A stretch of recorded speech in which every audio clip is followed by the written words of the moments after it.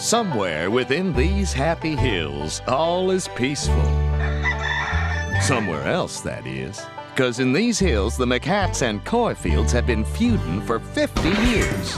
The dispute involved a particular landmark that was situated smack dab on the property line. One day, the McHats and Coyfields had to, uh, powder their noses at the exact same time. Out of my way! My nose needs a powdering! Mine needs it worse. It was in that moment of great need the two families decided to settle their differences. They put a second door in that there outhouse. Scoot on over, will you, Clem? Well, sure thing, Joe Bob. Well, sir, that famous feud was over. And to celebrate, they all left for a Caribbean cruise.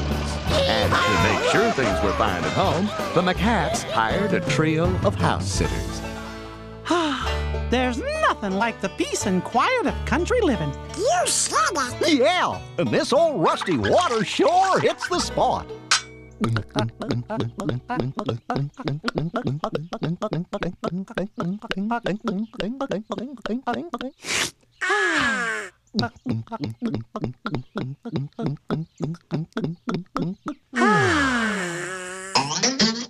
Nature calling. Well, now, unbeknownst to our trio, the Coyfields had hired a house sitter of their own, and nature was calling for him, too.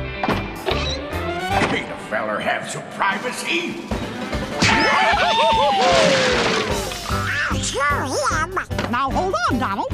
We're all a little upset, but let's try and be good neighbors. And nothing makes good neighbors better than some homemade apple butter. Make him some of this yummy water, too. What do you want?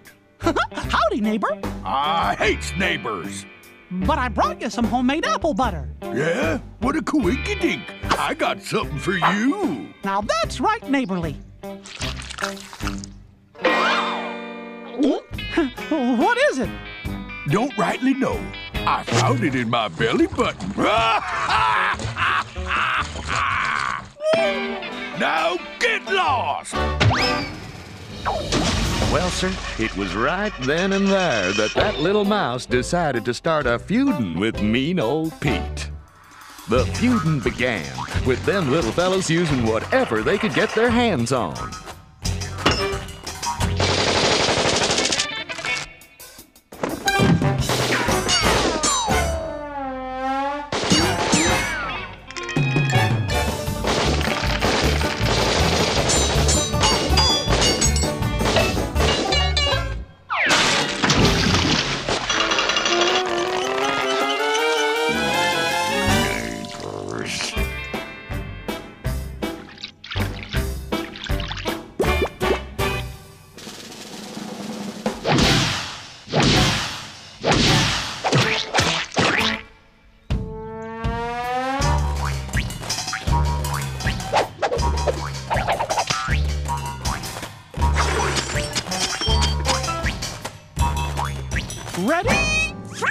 Save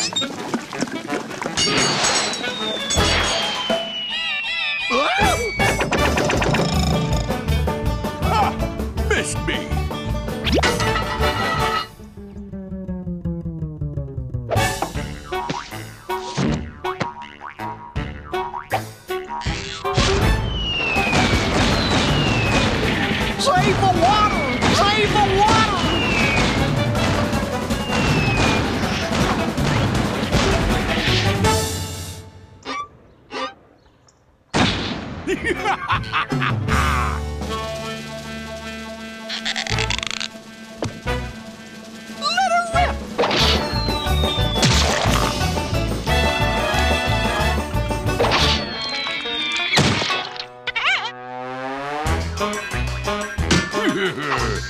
This'll teach them varmints.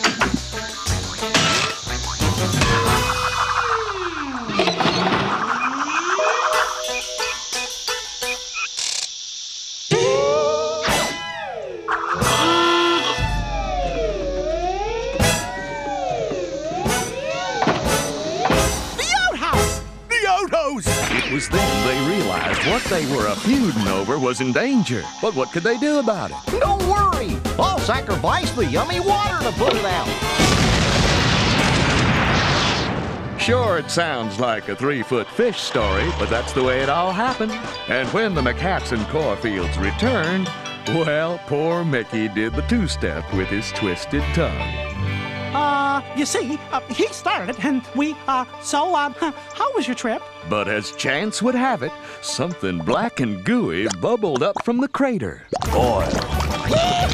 We're rich! Yahoo! So they packed up their things and moved to Beverly Hills.